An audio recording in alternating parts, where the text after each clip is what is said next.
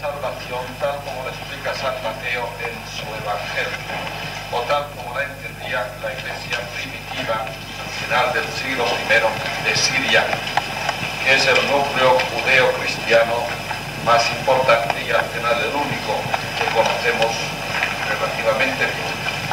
Lo que quiero decir es que esta visión que vamos a presentar hoy es una visión otra vez catequética, no tanto para dar datos sobre una situación de la historia de la Iglesia, cuanto para proporcionar métodos y sistemas de juicio respecto a las cosas que en la Iglesia van cambiando y respecto al significado, transitorio, lineal, que tienen todas las cosas que suceden en la Iglesia. Yo creo que si desde el punto de vista de la catequesis no se entienden bien estas cosas, se corre el peligro de entregar a los que aprenden una catequesis, una enseñanza cristiana que es típicamente no cristiana. Claro, como en el cristianismo hay tantas cosas que no son cristianas que hay que ir conquistando poco a poco. Una de las cosas que no son cristianas que son paganas, que son pre-cristianas, ni siquiera judaicas, pre-judaicas, son estos datos estables que tan a menudo se nos proporcionan como indiscutibles. No me refiero precisamente al dogma, que es una cosa ya bastante superada y además es griega, no es judeo-cristiana, sino que me refiero a las instituciones. Y he cogido dos tipos de instituciones muy fáciles de juzgar, el tiempo y el templo. Las dos cosas tienen estudios definitivos. El padre Chunu estudió libro famoso, El misterio del templo, el misterio del. Y Maru escribió otro libro famoso, El misterio del tiempo, el misterio. De manera que tenemos estudiado el tiempo y el templo en el judeo-cristianismo y en el primer cristianismo. Pero todo esto lo vamos a englobar, como ya casi es tradición en este núcleo, lo vamos a englobar en un halo y en un ambiente navideño, puesto que esta charla hay que dedicarla obligatoriamente a la Navidad que se acerca. Y la visión de la Navidad, justamente, con su sencillez, con su falta de líneas directrices, con su libertad de vuelo. Esa es la mejor instrucción que podríamos hacer hoy para un centro catequístico como el que estamos manejando. O de otra forma, yo quisiera decir que todo lo que vamos a decir esta mañana se engloba y se entiende en el misterio de la Navidad. Así que de alguna forma lo que tendríamos que hacer sería sencillamente explicar el misterio de la Navidad.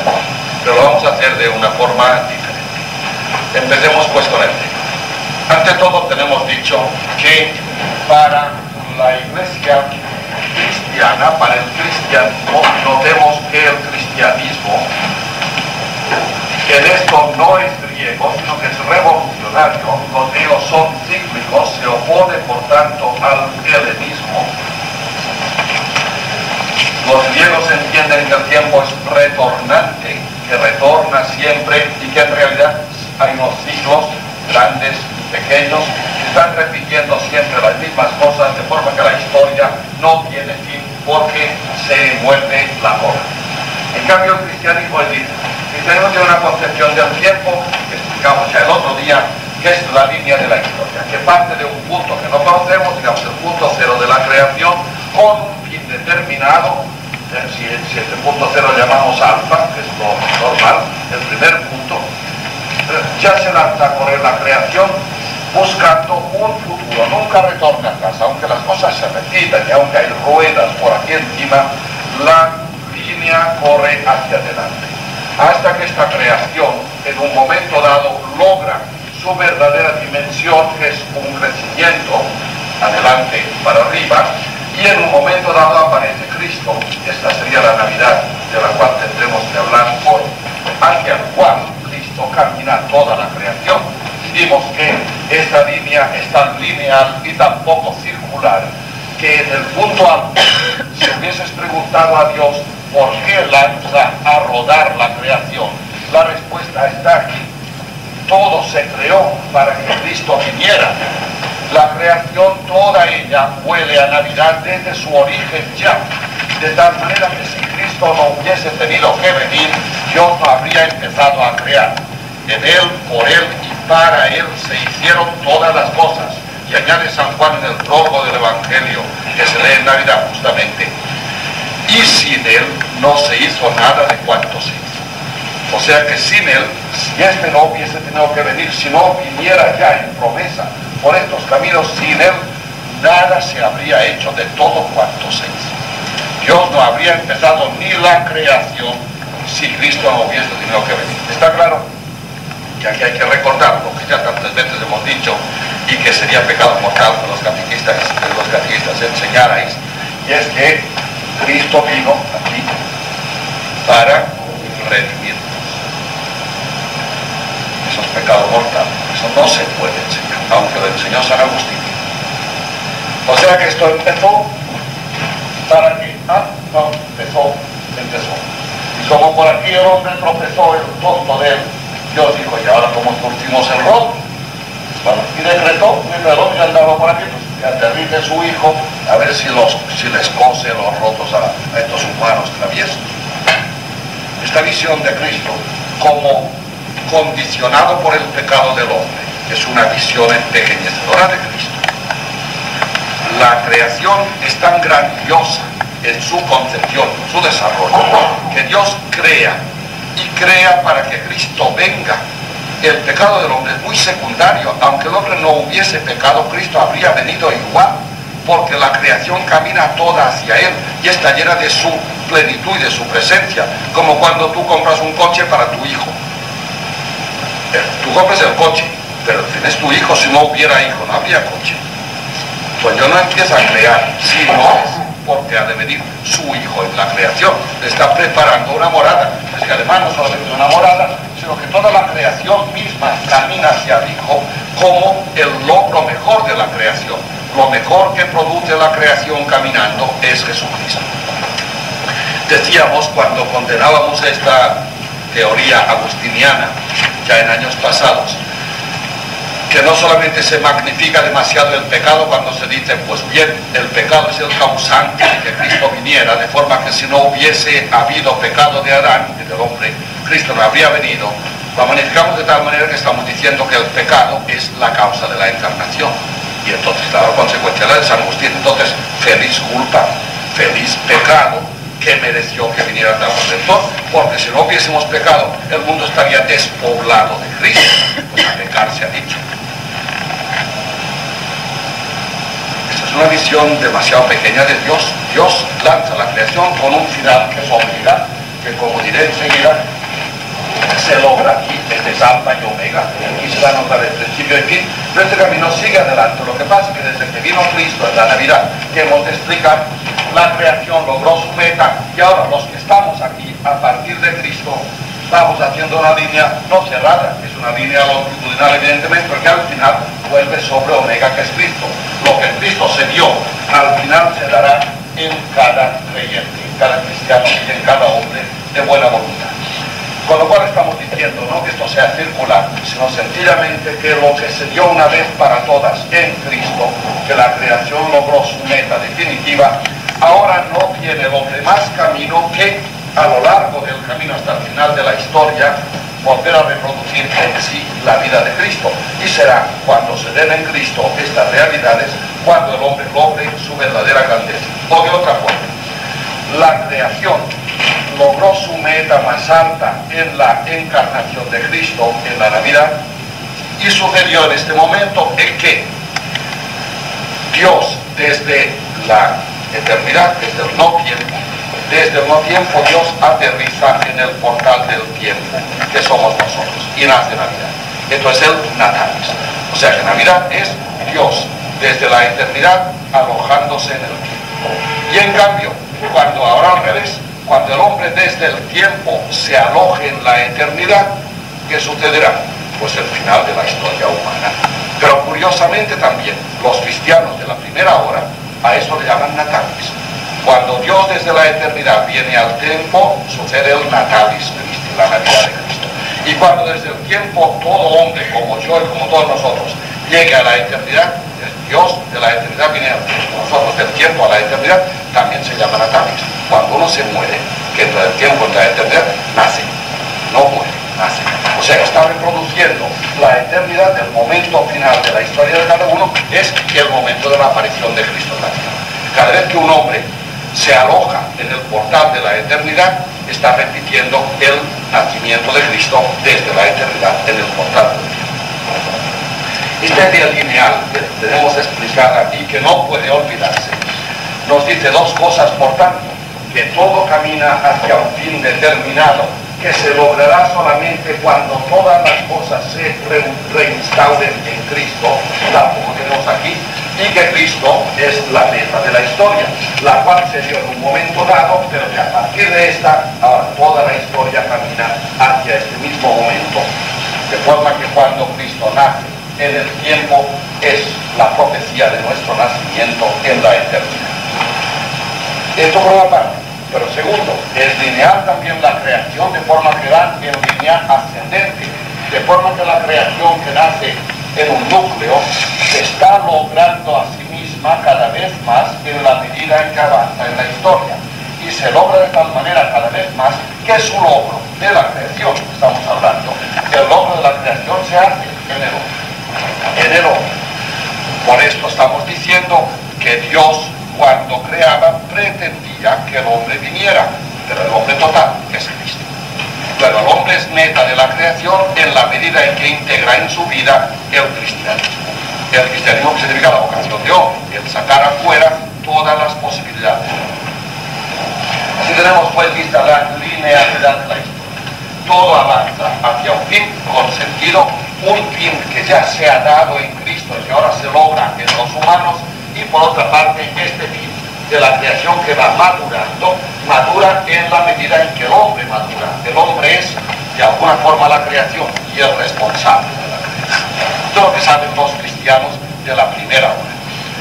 Segundo punto, mientras esto sucede, está claro que todos los puntos de la historia, justamente porque son lineales y porque no son circulares, son nuevos.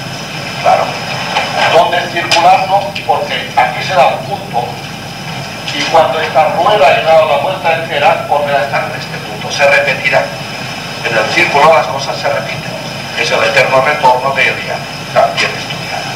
Las cosas se repiten o en ciclos lunares, o en ciclos solares, en ciclos anuales, en ciclos de 12 años, en ciclos de docenas de años, etc. Pero se repiten. Un punto, a lo mejor de mil años, en que las cosas estarán como aquí, cuando la rueda vuelva a estar. En cambio, en la línea no sucede esto. En la línea, cada punto que el hombre pisa es un punto nuevo. Y por esto, Cristo habla siempre del hombre nuevo, porque es lineal. Siempre es nuevo el hombre. La creación avanza antes de que llegue Cristo y avanza siempre en puntos nuevos hasta que viene lo súper nuevo, lo novísimo que es Cristo. Lo novísimo acaeció ya en Cristo, lo más nuevo de todo. Y ahora sigue siempre va la historia porque todos los puntos que vamos pisando, por los pasos que vamos dando, son puntos hacia la consumación de todas las cosas, siempre hacia adelante en Cristo. Y esto lo decían los, los de Navidad, los hombres de la primera hora, de una forma magnífica. Este Cristo que vino aquí, en carne mortal, mortal como un niño pequeño, es el mismo que vendrá al final de los tiempos. Y esta sí que es una catequesis que no hay que olvidar. La Navidad no es un portal cerrado. La juega de Belén no tiene puertas. No tiene puertas. Si alguien explica la Navidad como algo sucedido ya, de forma definitiva, que lo es, y sin futuro, o sea que de ahí no se pasa, este se está equivocando. Mateo, como ahora vamos a ver en, las, en la iglesia de Antioquía, está explicando justamente estas realidades. La Navidad, el Señor Dios que viene al portal del tiempo a vivir y morir con nosotros, es una promesa y preparación de la venida definitiva del Señor al final de los tiempos. O sea, que el Señor que vino, vino a decirnos que vendrá. ¿Ves la línea otra vez? Si el Señor que vino, vino a decirnos que vino, pues como ha venido, ya se ha cerrado. Pero si, si, Cristo viene para decirnos que lo importante es que viene para anunciarnos que vendrá, está alargando la vida. Y por eso el mundo cristiano discurre entre dos medidas de Cristo. La medida de Cristo en cuerpo mortal, en carne mortal, y la venida de Cristo como juez. Esto es típico judaico. Hoy ya no hablamos de juez, pero es igual, se entiende bien, ¿no? La venida de Cristo al final de los tiempos, donde se sentará y dirá, vamos a ver la película de la historia humana, a ver cómo ha sido, la juzgará. Y esa película, el río humano, se salva o se pierde. Así lo presenta San Mateo. Ya he dicho que esto hay que enseñarlo con mucho tiempo, pero es una visión judaica muy perfecta. Cristo vino a decirnos que a partir de ahora la cosa sigue adelante, a ver a dónde llega. Por tanto, Cristo viene a decirnos que al venir, al venir, al haber venido una vez, viene para preparar la segunda venida. Por tanto, en este tiempo post-cristiano que discurre entre dos venidas. Cristo que ha venido, ha venido para decirnos que sigue viniendo por los caminos de la historia, por donde andamos nosotros, hasta que desemboquemos en él, en la Navidad, que para nosotros será al revés que la suya, como ya vio San Agustín. Dios se hizo hombre para que el hombre se haga Dios. O sea, Dios desde la eternidad aterriza en el tiempo para que el hombre desde el tiempo llegue a la eternidad. Las dos venidas. Dios que viene al mundo, el mundo que llega a Dios. Esta es una acción lineal. De ahí no se debe salir porque es, bueno, posiblemente es un descubrimiento, digamos que definitivo del cristianismo. Las cosas no se repiten y las que se repiten, se repiten como una rueda, pero caminando, no como la rueda de los griegos que rueda sobre su eje. Todas las ruedas ruedan sobre su eje, pero la de, la de Cristo si es rueda, es una rueda sobre su eje, pero que se desplaza sobre el camino. Por tanto, aunque la rueda en sí se repite, nunca pisa el mismo terreno. Eso sí que se puede Por tanto, una rueda que rueda, pero que al rodar se desplaza. Y al desplazarse, los puntos que se repiten en la rueda no se repiten en el camino. Por tanto, esta rueda misma, caminando hacia acá, ella se puede repetir, pero el camino avanza siempre, por las ruedas avanzan. Por un lado. Pero ahora vamos a ver, este San Mateo, San Mateo tiene un problema enormemente grande y es el que expone Eduard Schweitzer en este librín de oro, la iglesia primitiva cuando nos habla de la iglesia de Siria. La iglesia de Siria es una de las, es la más rica como judeo-cristiana que conocemos. Ha producido la, la paleoliteratura cristiana, como es la Didaje, por ejemplo, un libro de oro, como es el Evangelio de San Mateo, o como es incluso la, el Pastor de Hermas, por lo menos con influencia antioquena. Esta iglesia es una iglesia especial. Por una parte, en el año 42 aproximadamente, en Antioquía eh, pues se establecieron San Pablo, Pablo y Bernabé y fundaron un núcleo eh, cristiano helénico, convertidos en los que le vamos a dejar de lado que los tenemos estudiados. En cambio ahí había también un núcleo judeo-cristiano, que era muy vivaz e incluso un poco celoso de los heleno-cristianos. San Mateo, hacia el año 70, no antes, por tanto 40 años después de la muerte de Cristo aproximadamente, San Mateo se encontró con que su núcleo de judeo-cristianos, judíos cristianos, pero con mentalidad judaica, ahí está el tema. Y el tema del catecismo es siempre. Nunca llega nadie al cristianismo viniendo de ninguna parte. Todos los que llegan, llegan de alguna parte. Si no llegan de ninguna parte, son galápagos. Los que llegan, los que llegamos, aunque seamos niños, pero tiene importante porque al final el bautismo se va haciendo, se va, va, derramando en la vida a lo largo de nuestra vida. Todos los que llegamos al cristianismo vinimos con estructuras. Gran parte de ellas todavía paganas, como si no paganos dos millones de años y somos cristianos desde hace dos días. Estas estructuras, este entramado humano que lleva cada uno, es el cañamazo, o si se quiere el, si se quiere el, como diría yo, el paradigma que traduce el cristianismo. Cada uno de nosotros al, recibir información la colamos y la traducimos, la procesamos. Bueno, pues cualquiera de nosotros al llegar al cristianismo recibe una información y la procesa. Y por esto cada uno es cristiano, diferente del otro, claro. Y por esto a uno el cristianismo le pide que se vaya a misiones y a otro le pide que se establezca calientemente en Madrid, claro. Evidentemente. Y en cuanto a instituciones pasa lo mismo. Una institución, digamos una tribu africana no recibe a Cristo como un greco-romano. Está claro. Esto ha de quedar claro porque si no, no entendemos nunca cómo se hace la catequesis. Ya dije un día que uno de los errores mayores que ha tenido la Iglesia en cuatro siglos es que ha colonizado el mundo con el catolicismo romano, que es una forma de ser cristiano, cuando hay miles de millones de formas posibles. ¿Por qué el africano ha de ser cristiano europeamente? ¿Desde cuándo? Si antes se fue judaicamente cristiano, Europa no existía, Europa es medieval, y se fue cristiano antes de que existiera Europa, y se fue cristiano antes del Renacimiento. Pues cada cristiano, Cristo cuando viene, no, no, no tira nada abajo, no veni per legge, se la dice. Yo no vine para destruir la ley, la ley significa el montaje antiguo, sino para darle completez, para rematarlo, para darle sentido. Pero cuando uno, al predicar el cristianismo, exige que se barran los templos paganos, como en, en México, por ejemplo, derrumbar templos para edificar cristianismo. ¿Hay para qué? No es cristiano. El cristiano edifica sus templos, veremos si los edifica. Pero sin derribar nada. Bueno, el pecado, si lo hubiera, sí, claro está. Pero hay que aprovechar todas las estructuras humanas anteriores. Pero el hombre viene al cristianismo. Lo que hay que hacer es meterle el cristianismo y el que lo traduzca a su manera. Los judeocristianos tenían un defecto, es tener estructuras judaicas muy tenaces. Y eso lo vio San Mateo. Notar que San Mateo, para ello hay que aconsejar un libro que creo que aconsejé el año pasado, pero no hay que, no hay que comprar sin haberlo visto antes. Es el libro de Brown,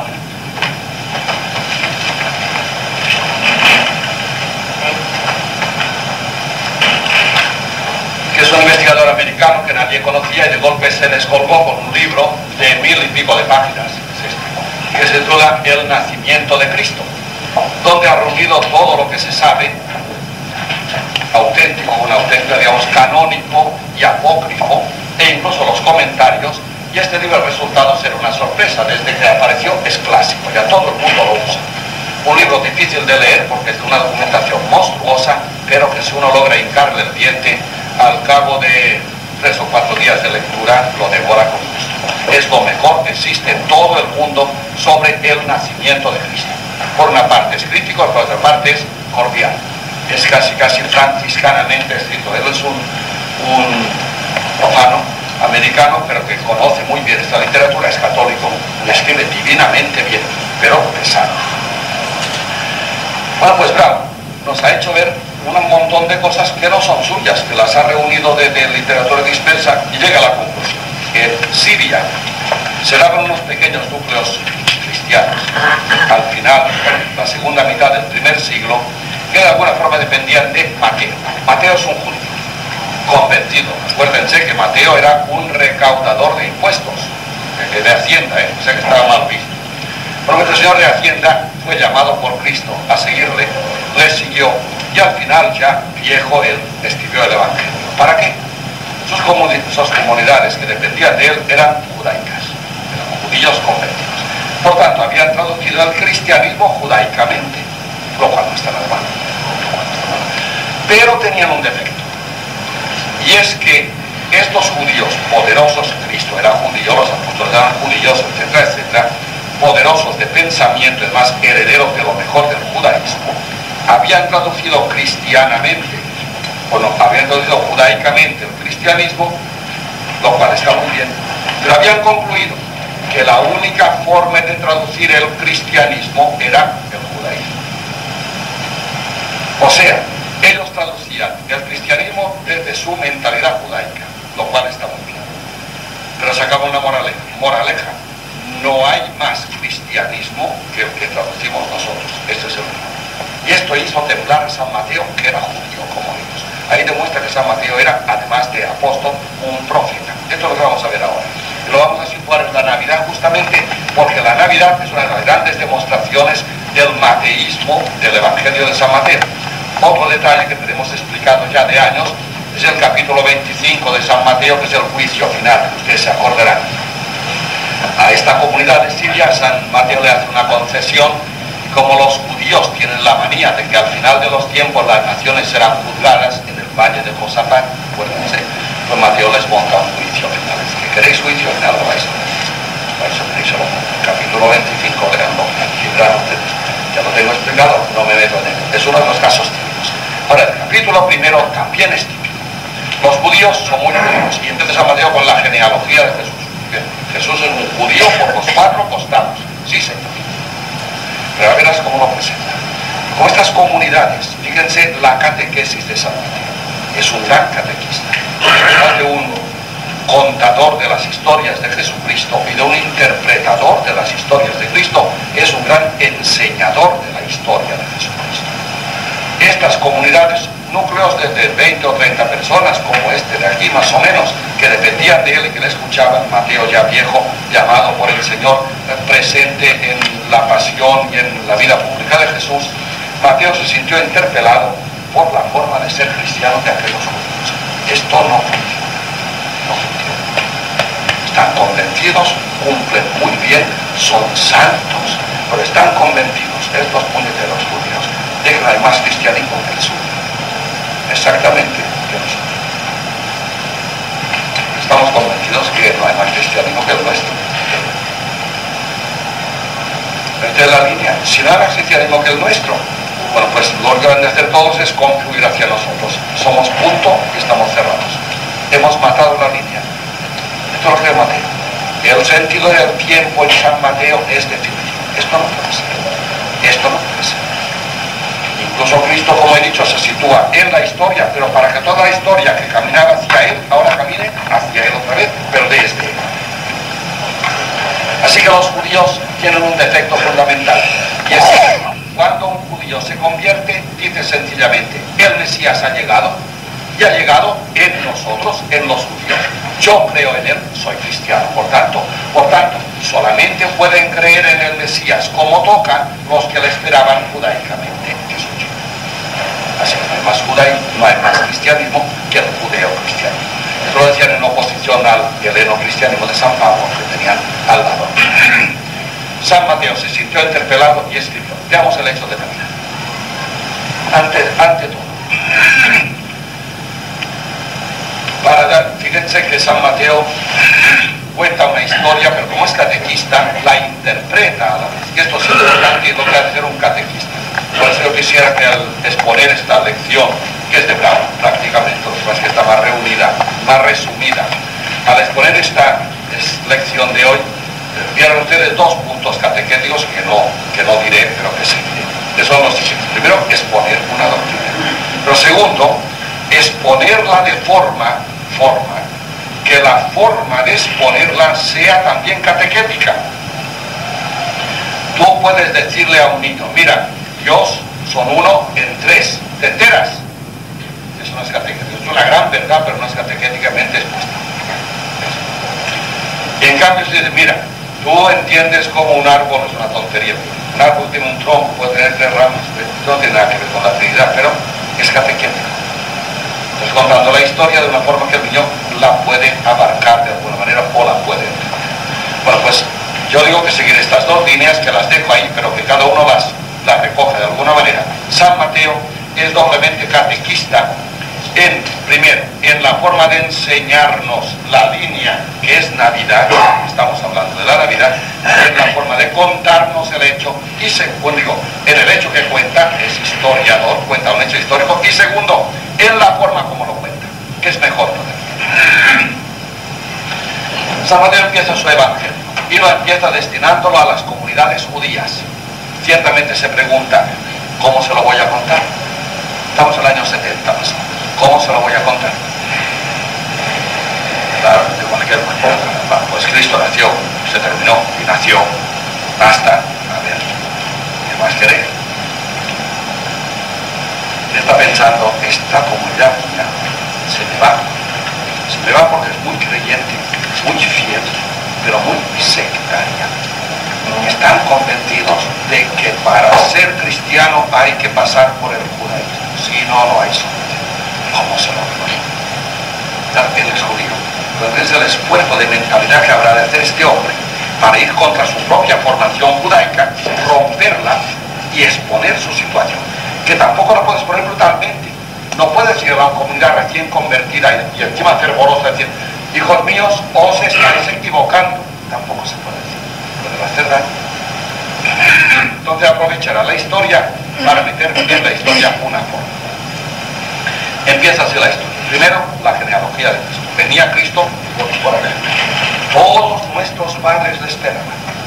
Todos caminaron desde Egipto por el desierto, caminaron toda la vida en el camino de la creación.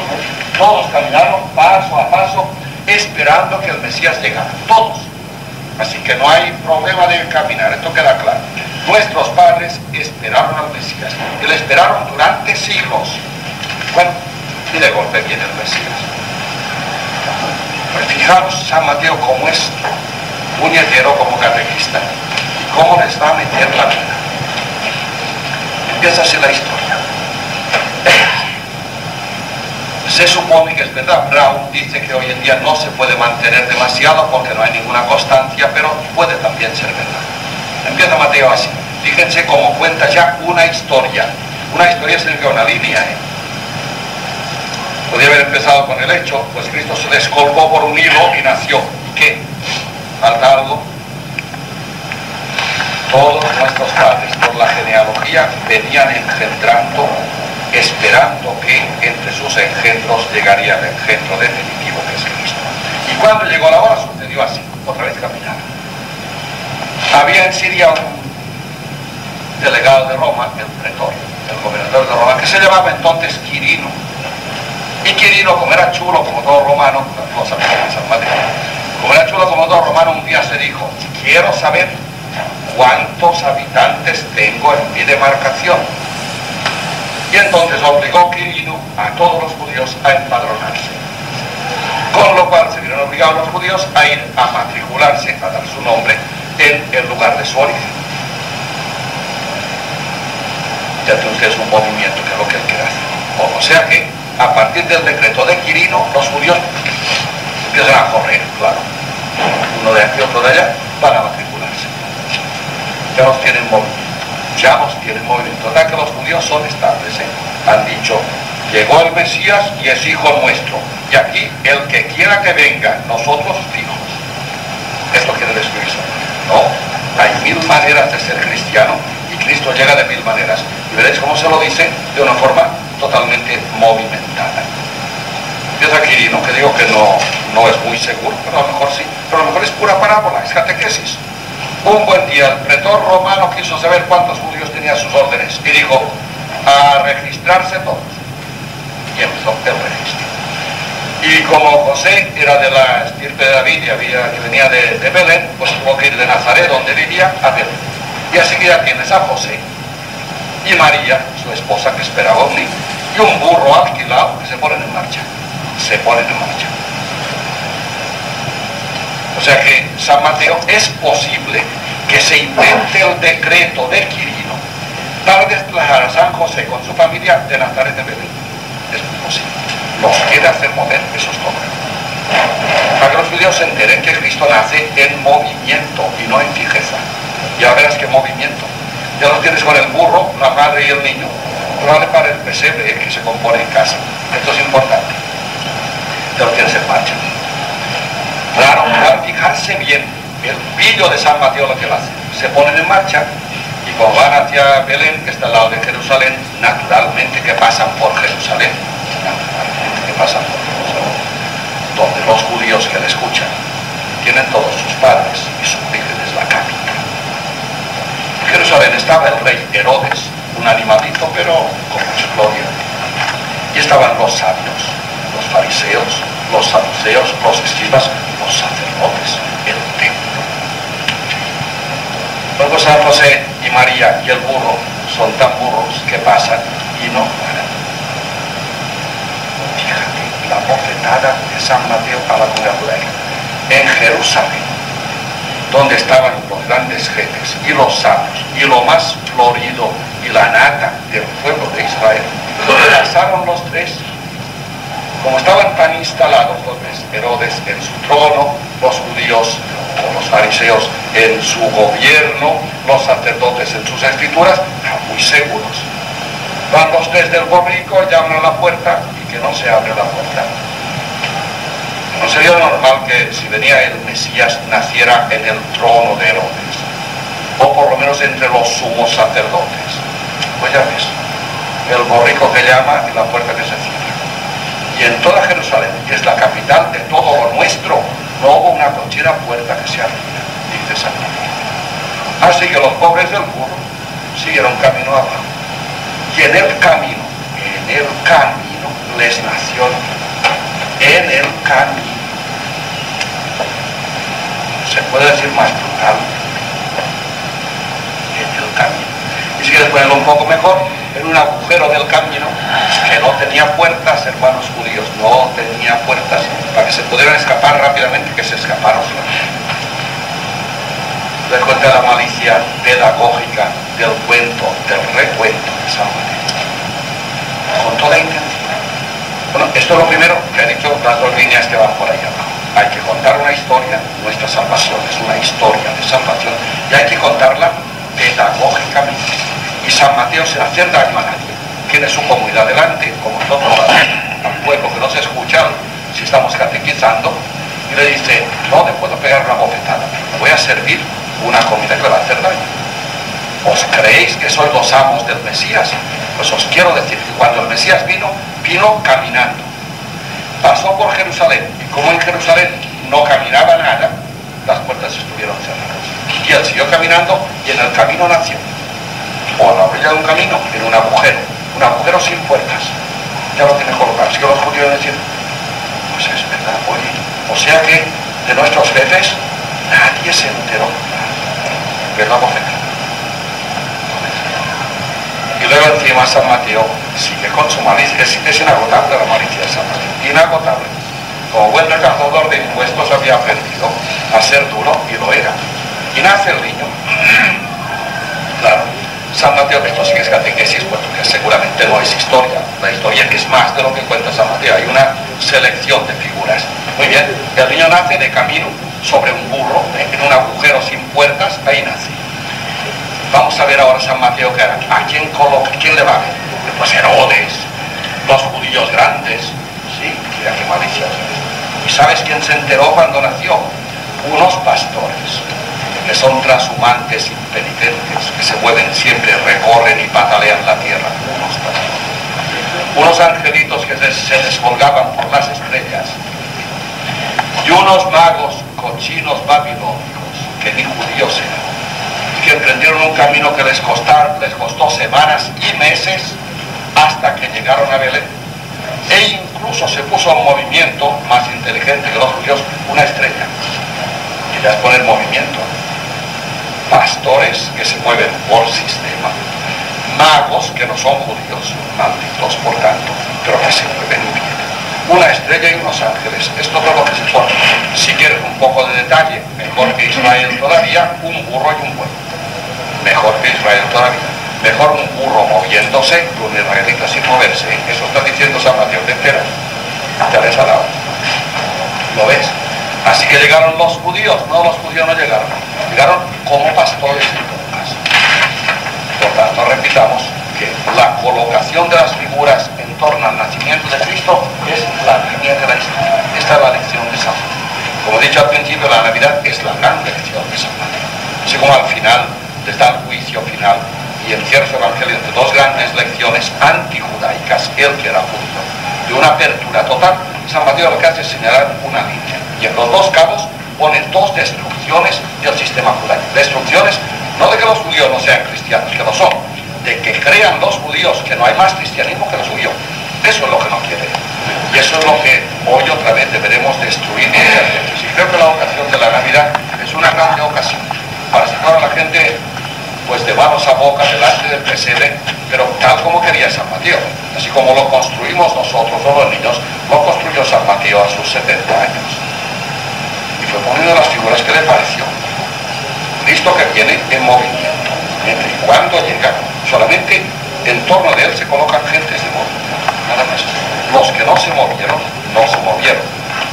El segundo capítulo es peor todavía. Y esto ya es la lección definitiva y final. Sucede que Cristo viene en movimiento. Si no, no los que no os movéis, no tenéis Navidad. Segundo, ¿y cuándo ha llegado? Acuden a él solamente la gente que se mueva, o sea que los que no lo veis tampoco llegaréis a la Navidad. Y tercero, que es lo primero, y cuando él ha llegado, solamente están en torno a él los que se mueven, los que no se mueven no se enteran. No, no solamente no se enteran, los que no se mueven le matan. ¿Eh? Herodes, la autoridad. No es que los que no se mueven no hacen más que no moverse, es que encima son enemigos suyos. Esto ya está bien. O sea que, queridos judíos, si estáis instalados en la inmovilidad cristiana, no solamente que sois inmóviles y no llegáis a Belén, es que vendrá un día en que traicionaréis a y le queréis matar porque os vais a tomar.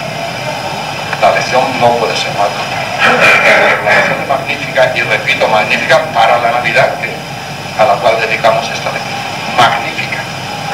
Cristo nace en camino. Segundo, le ven solamente, le descubren los que tienen ojos de caminante, como los magos, que son mejores que los judíos, como los pastores, aborregados, mejores que los judíos, como el rey y la mula, mejores que los judíos. Y tercero, y los que no le ven porque están instalados, pronto o tarde se tornan enemigos de él y le matan, o quieren matar. Tenemos una primera parte. Como ven, hemos explicado la linealidad de un cristiano. Y el cristiano es aquel que camina siempre, como el burro de Jesucristo, el burro que llevaba el Señor, o como los pastores, o como los magos, o como las estrellas, o como los ángeles que se descuelgan desde el cielo. Es un caminar. Estos llegan a Cristo. Así que ha presentado el mensaje de Cristo y la llegada de Cristo como una sucesión de puntos sobre una línea que tiende a un. Dios lo creó todo para que Cristo viniera, pero para que Cristo viniera es para que Cristo viniera. Venir es moverse, para que se moviera.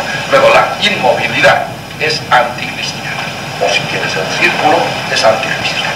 Todo tiene sentido. Y aquel que entiende que no tiene sentido o que le da un sentido estable, este a la larga es enemigo del cristianismo. Por tanto, aquellos de vosotros que se han hecho cristianos creen que ya están terminados de hacer, instalados en su cristianismo, por buenos que sean, a la larga son enemigos de Cristo. La conclusión que deberíamos hacer ahora es esta, que el catequista que enseña un cristianismo fósil, un cristianismo instalado, un cristianismo de Herodes, o de fariseos, noten que Cristo luego les la tendrá con los fariseos, claro, que la tendrá, o un cristianismo de escribas, bueno, pues los fariseos, Herodes le persiguió ya al cabo de dos días, los fariseos, los escribas lo mataron al cabo de 30 años, es igual. Los que cuando llegó a Jerusalén Jesús, que estuvo de paso con ellos, le cerraron las puertas, no es que se cerraron, no se, se quedaron con las puertas cerradas, es que fueron creando una vejez en su interior que al final esta vejez les empujó a desprenderse del Señor y a matar. Los que estaban en Jerusalén cuando Cristo nació y que no se movieron, Herodas, Herodes, escribas, fariseos y sacerdotes, pronto o tarde fueron sus enemigos y le mataron. Así que, por aleja, aquel cristiano, por fervoroso que sea, que se instala inmóvil en su cristianismo, está engendrando en sí un enemigo de Cristo. Y aquel catequista que enseña catecismo, que lo enseña quizá con verdades tonantes, con verdades definitivas. Dios es uno y trino, Jesús es el Hijo de Dios, la iglesia ha sido fundada por Cristo, son verdades definitivas las enseña como bloques hechos y que de aquí no se camina, sino que tú lo que has de hacer es cogerte a Trento y situarte en Trento. aquí se está ya criando un enemigo de Cristo. Esto dice San Cualquier verdad cristiana es un camino como el nacimiento de Cristo. El nacimiento de Cristo es un camino, cuanto más no será un sacramento o un dogma o una institución eclesiástica. Por tanto, aquella situación eclesial desde la cual no hay salida, no es salida, se termina. Si tú haces de Trento un concilio cerrado al cual hay que volver siempre, estás matando la linealidad, de los cristianos. Trento es un puesto abierto, es una zona de Belén sin puertas. Ahí nace Cristo, en, Trento, claro que nació en Trento, pero desde entonces ha caminado mucho porque hay puertas en Trento, si es Belén. Ahora, si Trento tiene puertas, no es Belén, no nos interesa. Ahí no ha nacido Cristo. Bueno, creo que la moraleja es clara, la de.